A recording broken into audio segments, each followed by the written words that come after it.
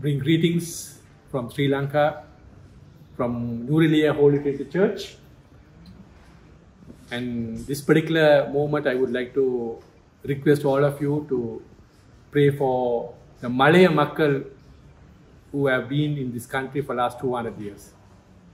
They are the most vulnerable people in our country who are deprived of so many basic needs.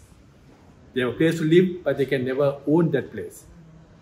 So we pray that they will also will be able to enjoy all the facilities and the blessings the others are enjoying in this country. So we thank you for the USPG and the support and the partnership that you have, especially working with our children in the plantation area.